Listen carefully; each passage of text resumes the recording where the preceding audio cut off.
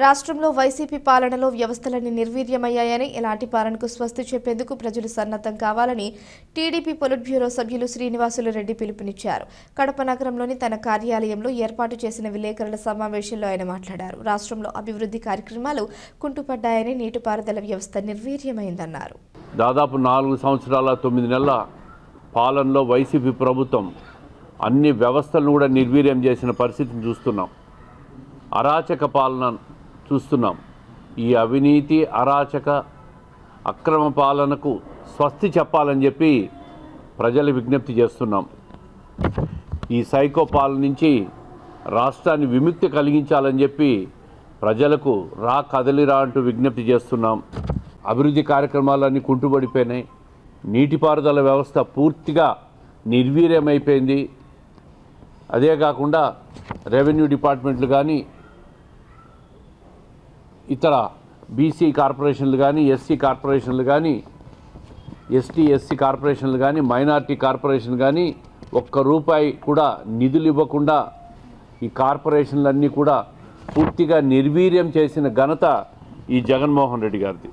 అందుకే ఇప్పుడు ఈ నినాదంతో తెలుగుదేశం పార్టీ పూర్తి స్థాయి కార్యాచరణ కూడా రూపొందించాం. రాబోయే ఈ ఇరవై ఇరవై ఐదు రోజుల్లో మా నాయకుడు చంద్రబాబు నాయుడు గారు రాష్ట్ర వ్యాప్తంగా కూడా ఇరవై ఐదు పార్లమెంట్లలో కూడా ఒక పెద్ద బహిరంగ సభ పెట్టి ప్రజలకు విజ్ఞప్తి చేయబోతున్నారు. ప్రభుత్వం ఎప్పుడెప్పుడు పోతుందా ఎప్పుడెప్పుడు మళ్ళీ చంద్రబాబు నాయుడు గారి పరిపాలన వస్తుందా అని చెప్పి ప్రతి ఒక్కరు కూడా వేచి చూస్తున్న తరుణాన్ని కూడా మేమందరం కూడా ఇంటింటికి పోయినప్పుడు గమనిస్తూ ఉన్నాం. ఇదే కాకుండా తెలుగుదేశం పార్టీ జనసేన సంయుక్త ప్రభుత్వంలో రేపు ఏర్పడితే దాంట్లో భాగంగా సూపర్ సిక్స్ అనే ఒక మేనిఫెస్టోని కూడా ఇప్పటికే రిలీజ్ చేయడం జరిగింది. ఇప్పటికే చూస్తున్నాం. జగన్మోహన్ రెడ్డి గారు ఆయన పార్టీ వ్యవహార శైలితో పార్టీ నుంచి ఎమ్మెల్యేలంతా వీడిపోతున్నారు. ఎంపీలు వీడిపోతున్నారు. మూడు నాలుగు రోజుల కింద చేరిన కొంతమంది నాయకులు నాలుగు రోజులకే ఆయన వ్యవహార శైలితో విసిగిపోతున్నారు. ఎప్పుడెప్పుడు ఈ సైకో పాలన పోతుందా? ఎప్పుడెప్పుడు ఈయన ఇంటికి పోతాడా? ఎప్పుడు ఎన్నికలు వస్తాయా అని చెప్పి మేము ఇంటింటికి పోయినప్పుడు చాలామంది మహిళలు మమ్మల్ని అడుగుతూ ఉండే పరిస్థితిని చూస్తూ ఉంటే ఎంత దారుణమైన పరిపాలన ఈ ప్రభుత్వం ఇచ్చిందో ఈ ఐదు సంవత్సరాల్లో వాళ్ళని చూస్తే అర్థమైపోతూ ఉంది. ప్రజలు పూర్తిగా నిరాశలో ఉండారు నిస్పృహలో ఉండారు. ఒక రకమైన ఆవేదనతో ఉండారు. ఈ ప్రభుత్వం వలన మనం అందరం కూడా నష్టపోయినాం. ఈ ప్రభుత్వంతో రక్షణ లేకుండా పోయింది. ఈ ప్రభుత్వంలో ఆస్తులకు రక్షణ లేకుండా పోయింది. ఉద్యోగ భద్రత లేకుండా పోయిందని. యువతలో అయితే ఎక్కడ లేని కసి కనిపిస్తూ ఉంది.